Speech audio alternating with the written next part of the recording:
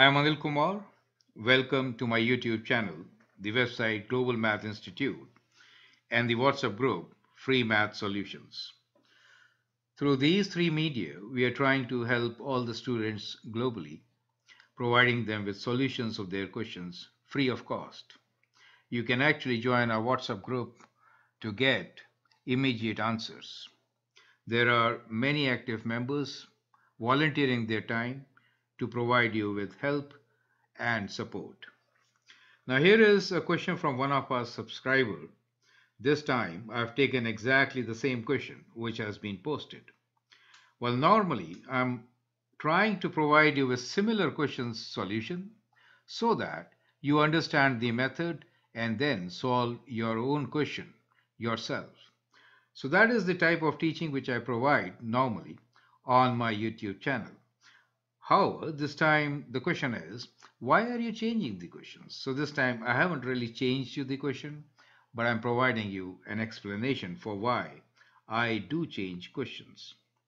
It is much easier for me to solve exactly the same question which you are asking, but it's very difficult to make an example similar to that so that you understand and then solve your own question. It's like teaching you fishing rather than providing you with a fish on the plate.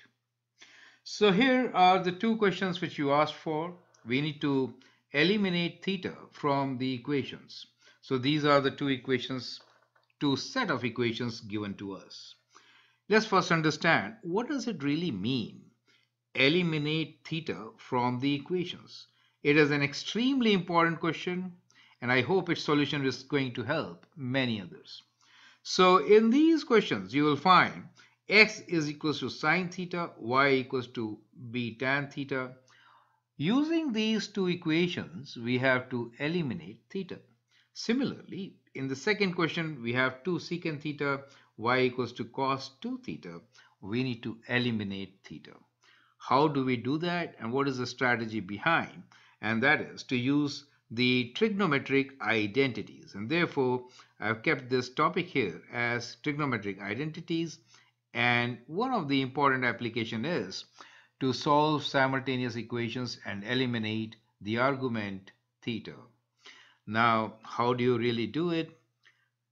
Basically, you know that sine square theta plus cos square theta is equal to 1.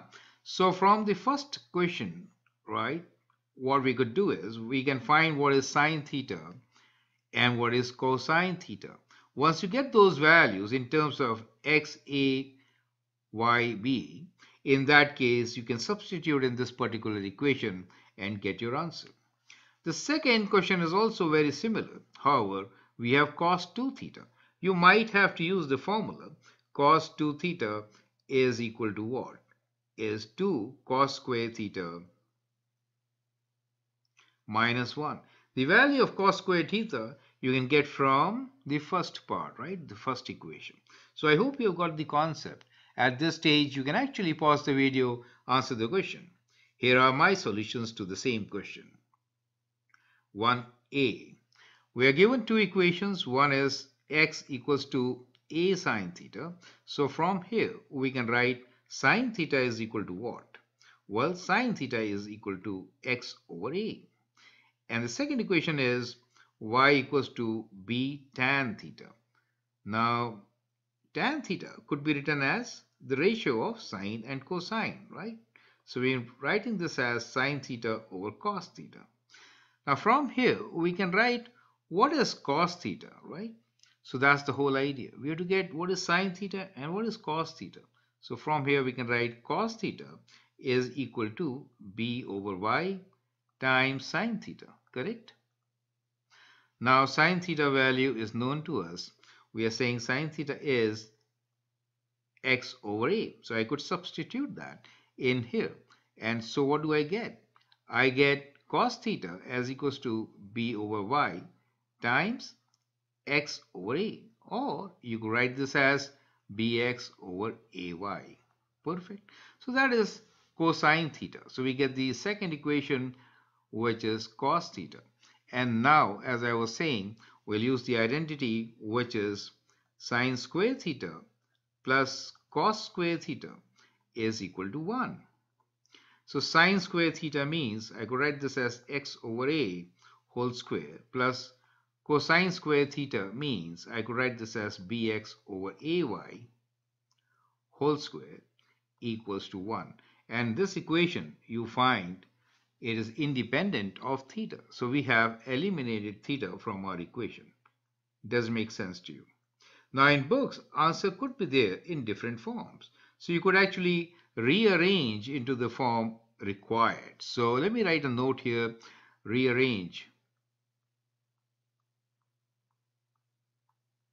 in required form. Perfect. So that is how you should be doing it. Now let's take the next example, which is b equals to x 2 secant theta and and y is equals to cosine 2 theta. So let's again begin with uh, what is given to us as x equals to 2 secant theta. Now secant theta as you know is 1 over cos theta. So from here you can say cos theta is equal to what? Just cross multiply, you get 2 over x. So that becomes our first equation. Correct? Now the second equation in this particular case is y equals to cos 2 theta. Now you also know that cos 2 theta can be written as 2 times cos square theta minus 1. So that's another identity which you learn for double angle. Now in this you could substitute the value of cos theta equals to 2 over x and then eliminate theta altogether. So that's the idea. So we'll write 2 times. So this is 2 over x whole square minus 1. So we get an equation which is y equals to 2 times 4 over x square minus 1 or we have this equation as y equals to 8 over x square minus 1. Of course, you can rearrange this also in the form required and then write down your answer, correct? So for example, if you just cross multiply, you get x square y equals to 8 minus x square and then you could write this as x square y plus x square equals to 8. That could be the final answer. But anyway, it could be any combination of these which do not have theta in them. You get the idea. So that is how we have to solve these equations. Using trigonometric identities from the given two equations as it is in these cases, we could eliminate theta. And that's how we should be doing it. So I hope with that you, are, you have understood the technique. So I like to I like you to work out few examples from your book, Gain Confidence, and you can place a remark here, a note if you have really understood the process. Thanks for your time and all the best. Once again, you can always join our WhatsApp group. I'll provide you with the link to join the group so that you can get immediate help. I will also be providing help on YouTube, but selected questions since I cannot take the amount of questions which we are getting these days. But we are there and all the three platforms will provide you with free services all the time. Thanks for your support and suggestions. All the best.